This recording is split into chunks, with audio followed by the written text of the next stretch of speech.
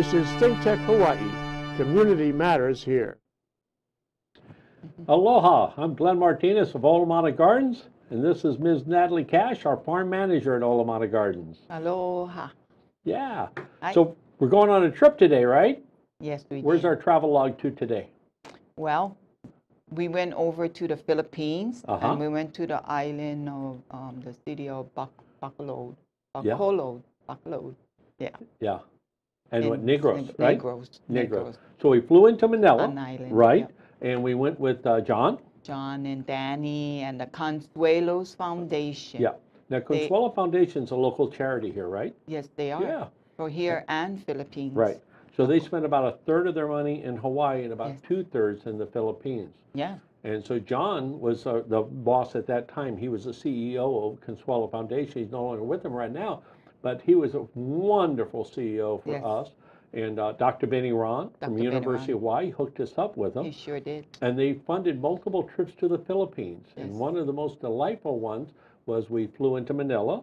And then we spent a, a day or two there, and then they hopped on a small plane at five in the morning Mm-hmm. and flew about an hour, hour and a half. You know, basically going to the Big Island, a little bit longer than that.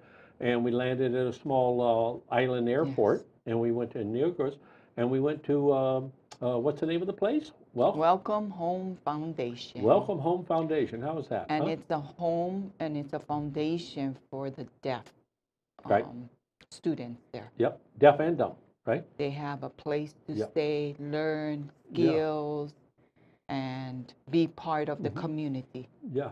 So we go there. They look very young. It's, there's so many Oriental people that look so young for so long. You know, I'm not Yeah. jealous. I'm not jealous. But they, they, the, the students that we work with were actually 18 to 24 years Yes, old. they were. They had actually graduated high school and they were there for job placement. So here is Welcome Home Foundation, the literacy program and skills training. So they get out of high school and bingo, here they go. So this is where John and I flew into, and uh, there it is. We landed at the airport. We were in, we were in a good Glenn is always here. funny. Yeah, and uh, so we're happy to be there wearing our Mad Hot Steams T-shirts here. Yeah, and this, is one of the young ladies that teachers here My at that Lord school. is. And John just seems to know everybody in the Philippines associated with it in Yes. Bacolod. And uh, this was like basically two house lots where they removed the houses and turned it into a farm right on the edge of the city. Yes. And the, the campus for this deaf school is right next door. Mm-hmm. So as you pull up on the right-hand side is this garden. And you can see there uh, the, the diverse group that we had. Of course, it was a challenge because most of them were deaf. And so I had to learn sign language. And they had a lady there, the lady in yellow there, she was my sign language Agnes. person. Mhm. Hmm? Agnes. Agnes did a Yeah. wonderful job in that. And this was really great. The Consuelo founded this. I was able to go there for a couple of days and work with them. And there's the lady in the straw hat. Yeah, that's that's Agnes. Sorry. That's Agnes. Angie is the Angie is the lady, in yellow. the yellow. Agnes, Yes. her mother started this Yes. school. and she- Thirteen years. Yeah, she was literally raised up in the school and juggling hand to mouth. And Consuelo Foundation discovered them Yes. and embraced them and funded a lot of their efforts. Yes. You know, didn't they? So it's really quite interesting to go there and uh, and to see what they can bring up. And uh, so I'll show you some slides of the gardens of what we built there to make it unique. Before I got there, Danny had uh, taken my plans and he had a, a contractor there donated his time and did it at cost. They built these cement tanks, they did the plywood on top, they drilled the holes, they had the plants going.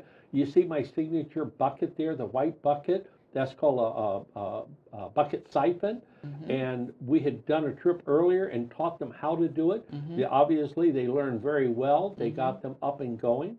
And in the background is the garden. Now, this is the tank they put in. It's a cement side tank. It's only about two inches thick, remarkably. And that thing is three feet up and three feet down. So it's actually like five or six feet deep. And you see the water coming back trickles in. Now, you see the well in the back?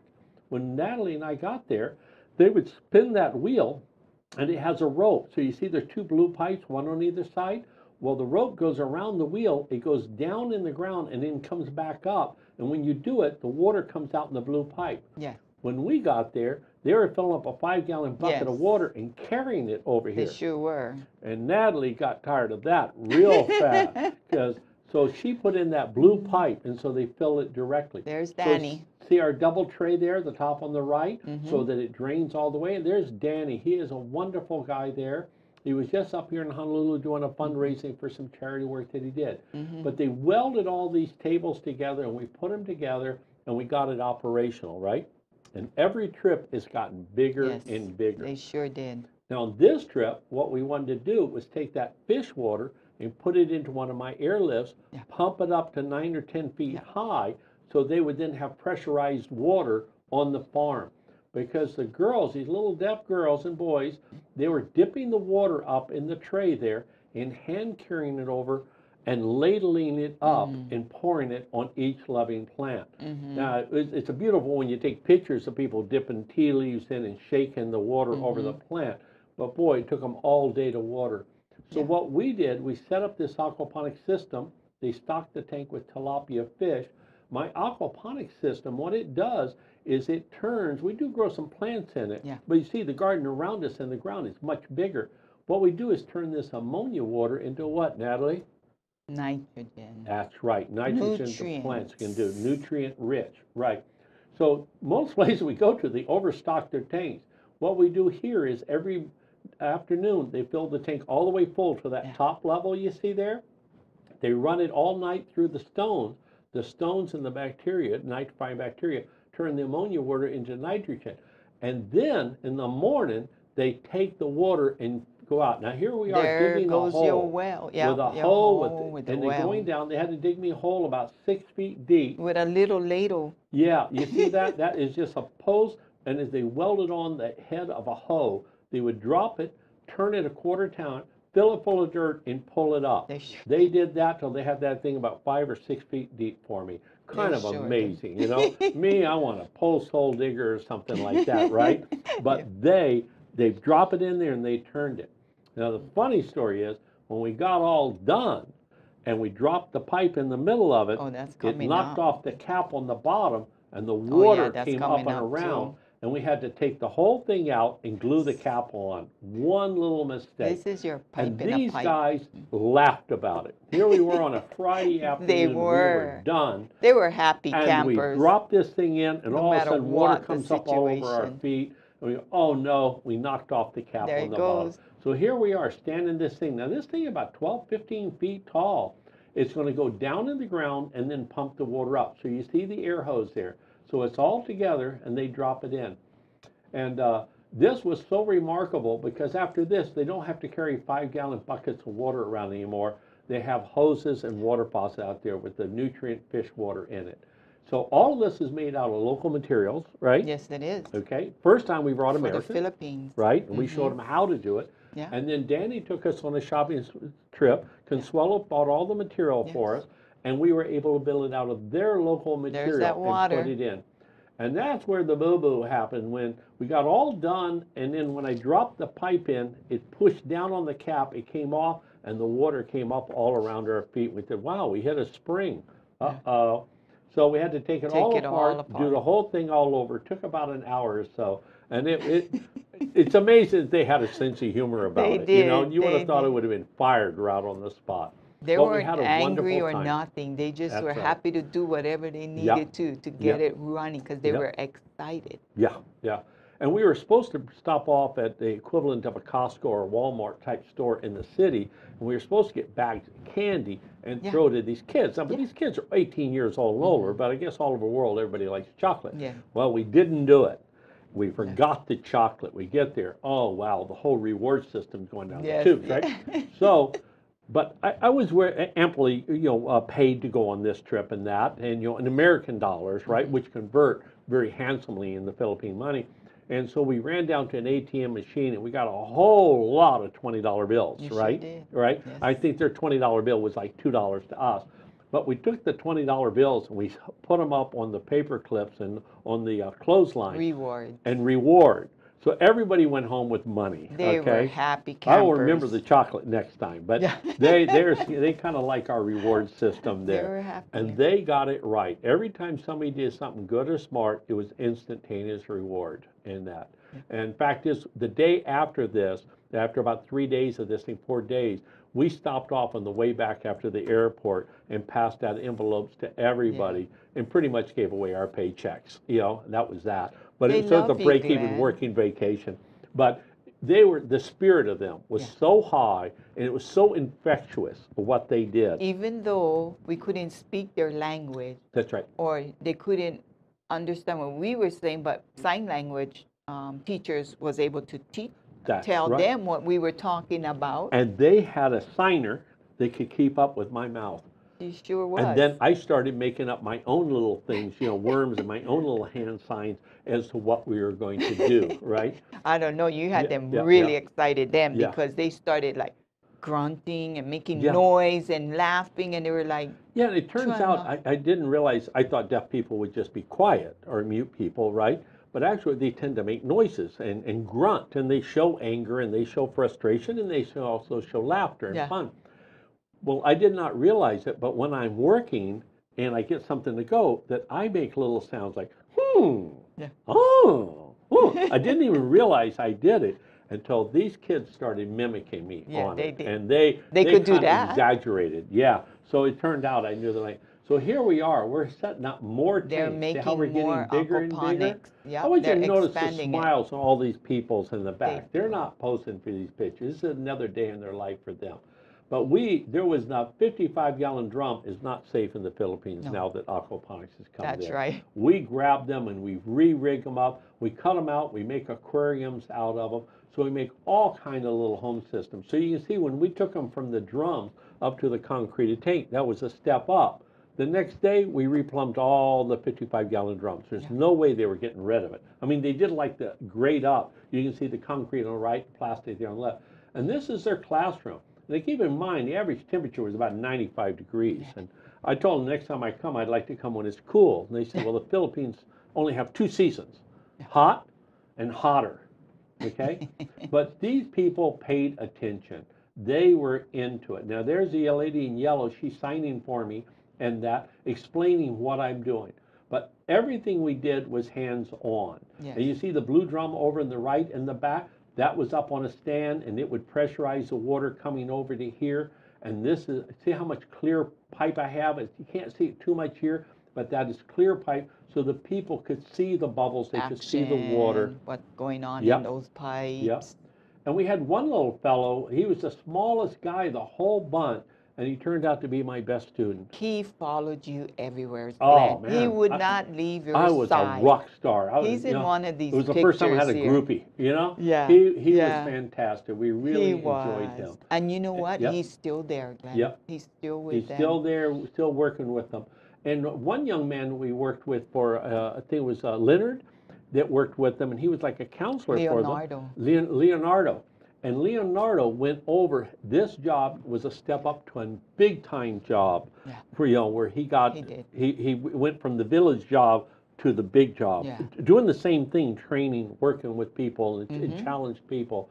And so it was a real stepping stone for him. And that's really neat to, to affect somebody's life like that. Yes. You know? So we say many times we want to teach teachers, right? Mm-hmm. Not students. So here's that well. Now you see where they cranking it there? Well, you have to crank that thing about 15 times before you get the first drop of water. Then it's steady. Now, notice the natty one over there, she put a 90, put the pipe to the ground and going across so you could walk around. When they first did it, they just put it in the air. Well, that would not have lasted very long. but now they up the go over there, you crank this thing, and you start getting that two inch pipe full of water, Mm-hmm. they fill it up in no time. And they were excited. You see the nursery bed behind us all screened in? I mean, there's a lot of water coming up in this thing, okay? They could really get that thing cranking. And those are called rope pumps. Very, very simple. The water was only about 20 feet down. Uh, that, I mean, if you open the lid, you could see it down there. And uh, they literally dig a hole in the ground, it fills up with the water, and you stick one of those contraptions. So they're doing raised bed gardening here. Now, this is called terra aquaponics. And that is another word for it down in Australia. They call it extended uh, aquaponics Yeah. in that, different words for it. And what it means is instead of just growing your food in the aquaponic system, use the aquaponic water Yeah. to water all the other plants. So they do it seven days a week. So they divide the garden into seven sections, and each section gets fish water one day a week. The rest of the time, they get, get water, right? But to get the nutritious water, and what the multiplying effect, you see how sparse it is there? Well, when we went back four months later, Oh, it was just Yeah, choke full. Park. It was really nice, wasn't it? Yep. So they built these screened enclosures and that, and this is where they have their worms in there. They learned how to Oh, have composting big worms. time worms. Len. In fact, is we when we drove from here, we went over the mountain to San Carlos. We stopped, and three commercial worm farms had started business, and they sell this, and equivalent to us, and they sell a uh, uh, what would be a 50-pound feed sack. They filled it full of worm cat. They sold it for three dollars American. But keep in mind, you work all day in the Philippines for five dollars a day. A construction worker makes eight to ten dollars a day. So having a worm farm where you can sell 20 bags a day for $3 a bag, that worked for everybody. We even went to the dump, right, in San Carlos. Yes, and they were separating the They food waste. separated the food waste, because like all over the world, when you go to the dump, they charge you more for the wet garbage than it is just for dump and dry household stuff, right? Yes. And so these two ladies put up a business enterprise modeled after the Cuban experience, where they mm-hmm. ba- built concrete trays four feet mm-hmm. wide, 75 feet long, and they were three feet deep with worms. Yeah. And they were in business and doing well. That Yes, was they that went were. good all the And way making around. the best fertilizer. So yeah, it was really good fun. So here are these worm pits in there. So you see the the the the fence is to keep the people out, and the the screen is to keep the birds out. Yes. And bingo, in there they have their worms, you Mm-hmm. know. And uh, and out here, when they do it, so notice how they're covering up and they're keeping it moist. They really got into doing the biointensive gardening, right? Mm-hmm. And they are sharp. There's they're not slackers in any way, shape, or form. No, they're and not. once they latch onto a concept, they take it and run. You know, uh, and this and they know how to eat. Let me tell you they what. They feed us well. They, they, we, we eat well. I did not lose any weight on this trip at all, you know, and that. But everything was and tasty. a lot of them is out of the garden. The, That's right. the- Most of it was out of their farm, and- their yeah. chickens. We ate their food, Yeah. and uh, that was really great. And uh, so here's the fish tank all up and running. They got signs so now they got plants all over, The growing plants are all over. over. They're planted out. Now look at, see the difference? This is like four months after this. See how much thicker the plants are in the Yeah. beddings, okay? They get so much more production.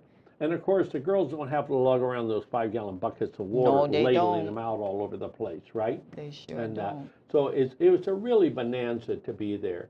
And uh, we started doing beds uh, low. We did a workshop with them where we taught them how to fold up the stiff plastic and put down the stakes. And they folded up and they took us out to a chicken farm and two men.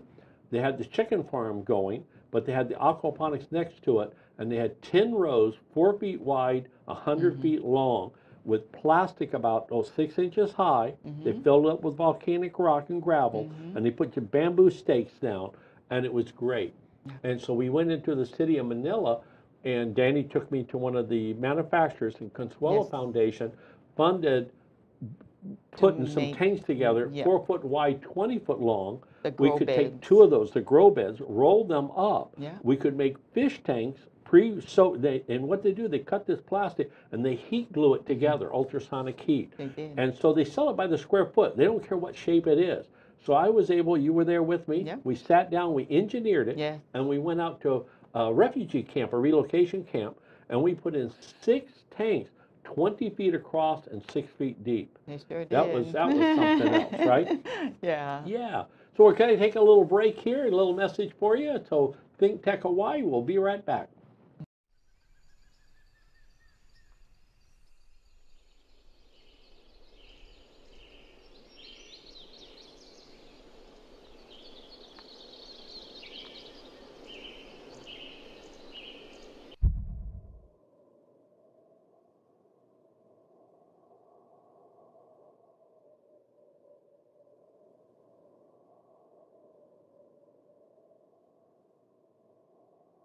There's anything.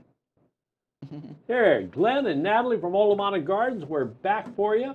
So we're down in the Philippines on this, Yes. and that's so it'll be kind of neat. And we're trying to keep this to show you the farms that we've been to, Yeah. and that.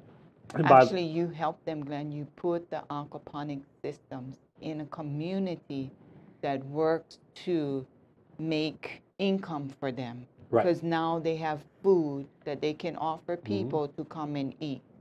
Right. They make lunches, they Yeah. make dinners. It's like the story of Taloy Foundation in Yes. Manila. They had 240 kids when we met them, and they had about 200 kids coming in in the daytime, but don't, they couldn't stay. And one of the things is, the way you get kids to come to school is you feed them. Yeah. Okay, that's pretty much it. And so that limited, the, the lack of food limited them. And we watched the population, and we went back, uh, the next year, they had 880 Yes, they kids did. because the food was so great. Same school with the, the uh, orphanage uh, here, this deaf school. Mm-hmm. Yeah. If you can feed them, them come. Now, what's really neat about this garden is right next to the entrance into their campus. Yeah. So the public can come there, they can buy there, Mm-hmm. and the kids make money, right? And they get a share of it. So we got a couple little short videos we like to show you here, and uh, to show you how- them in action. in action. Down, it's going to drop down that far.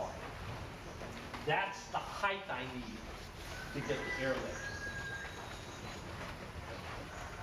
You have the ice, I can go and cut In my house. buy them. Way up Yeah. and on the So, ground. yeah, way up and on the ground. We get, everybody gets wet in our Yeah. classes, okay? And you had another little video there? I think This so. is how they move Yeah. the water. Yeah, yeah. So it's good fun. And, and this, this rope crank, now you've got to be a dedicated person to stand there and do this. But notice he's cranking and cranking, and look at the other side. That is a steady stream of water coming out. Yeah. And he'll, he will stand there and crank that thing for an hour, hour Oh, and a half whatever to fill that drum up. Yeah. You know? Nobody Somebody welches out, No. you know? And they might have Yeah. somebody come over there and say, it's my turn. You Oh. can't do everything by yourself and they'll Th- take right. over. They- They'll take over. Yeah, nobody wants to get cheated out of their job. Yeah. Yeah, that, that's for sure. And, uh, and, uh, but it was really interesting to see them, when we pumped the water up on the airlift to a higher elevation, put it in a fifty-five gallon drum, and then they hooked garden hoses to it, and they were able to go out in the garden and just be able to put the pipe down, water the plant, plant, plant, and everything went Jurassic Park. So They they sure were did. happy with that. Great people. I think we've been there, what, three times now? Yeah, yeah, really good. So we're looking forward to going back. But Consuelo Foundation here in Hawaii has been extremely generous in sending Mm-hmm. us over there. Dr. Benny Ron from University of Hawaii, he's over in Israel now, Yes, he is. and that. And uh, sad story, his mother, up at about 94 or so, she passed heart. Mm-hmm. away, you know, and that he'd been taking care of her for the Yeah. last year. Tough job to have. But he's coming back to Austin, Texas, Mm-hmm. Yeah. and we got our ATOL program. That's our aquaponic training online learning. Yeah.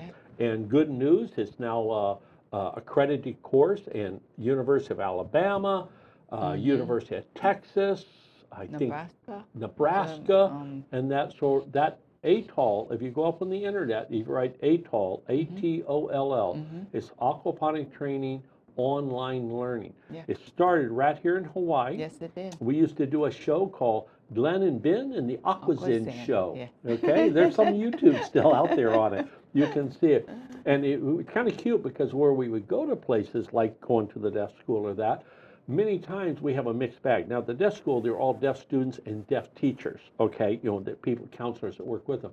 But a lot of times when they brought us out to colleges, et cetera, we would have college students, we'd have local farmers, and we'd have PhDs in the class, right?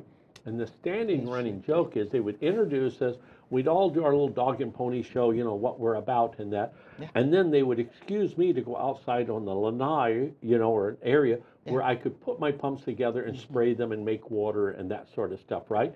And Dr. Benny would always say, Glenn and Natalie are going to go outside and they're going to show you how to build these things. We're going to turn them on. You'll see make them pumping. work. Yeah. Now, for all of you that want to know how to build one and want to go home with one, and Consuelo Foundation was extremely generous. They were. Some of these people came from like the forestry department or the fishery department in groups of four or six people. They sent them home with an air compressor and the pump and the hoses. So Mm-hmm. that when they went back to their bosses, they could walk outside, set And it up, show and show it running. That's right. Otherwise, it's just another PowerPoint presentation. It's Yeah, gone, right? And so we do very little PowerPoint, very little, some drawing on a blackboard, Yes. but more and more, we just, it's easier Hands-on. just to put it It's on. It's called hot. Hot, hands-on training. And that's the same thing on the Big Island. When we came back in, the teachers, uh, it was on Thanksgiving break, and we stayed there for the two weeks, we volunteered.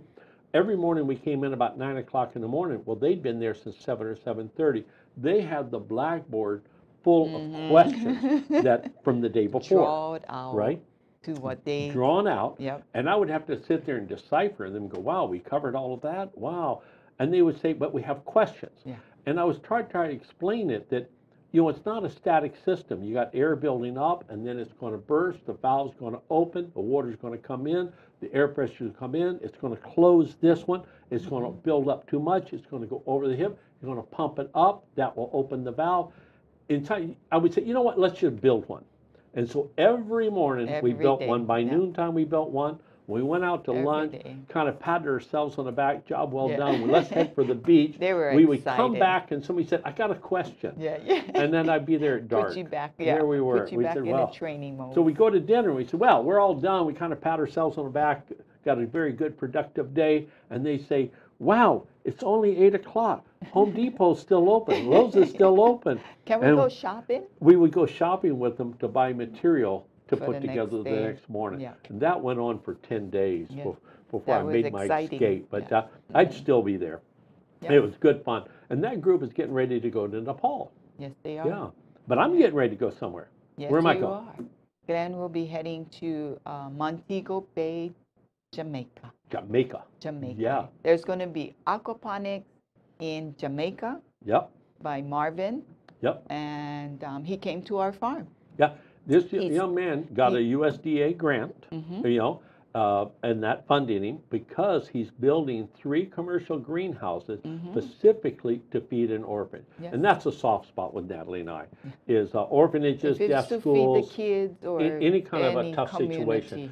And particularly where housing the kids, you have to feed them. Yeah. So what you have is, you have the built-in labor force, you don't have to worry about selling the food, the kids are gonna eat the food, right? And any surplus, it becomes a stipend to them, Yeah. you know, so it's a win-win situation. Sure So we went down there last year, and we went to Jamaica, Mm-hmm. and we- they've got the greenhouses up and that, and all the material was trickling in. Yes. We think we have problems here in Hawaii with shipping, try Jamaica. That is just a circus and a half, right? I think they have to go to Florida for Yeah, things. Lo- Florida, all over the mainland. And it. mainland, yeah. And the Jamaican fellow we're working with, uh, he looks Jamaican, he's big, he's bigger than me, and a big, beautiful man. And, but he actually graduated, got his master's in business from Cambridge up in England.